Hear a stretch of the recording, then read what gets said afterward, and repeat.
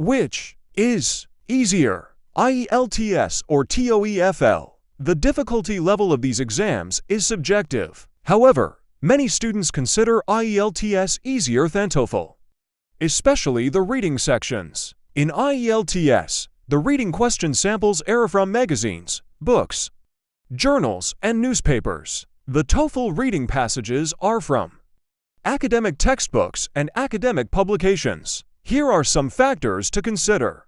When choosing between the two exams, test format, the TOEFL is administered online, while the IELTS can be taken either on paper or online. Test content, the TOEFL focuses on academic English, while the IELTS covers both academic and general everyday English. Test structure, the TOEFL consists mainly of multiple choice questions, while the IELTS has more variation in how questions are formed and answers need to be given.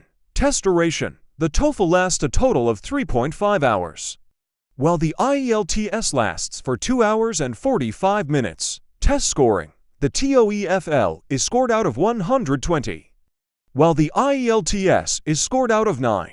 Test acceptance. Both exams are widely accepted by universities, and other institutions around the world. Ultimately, the best exam for you will depend on your goals and situation. I hope this helps.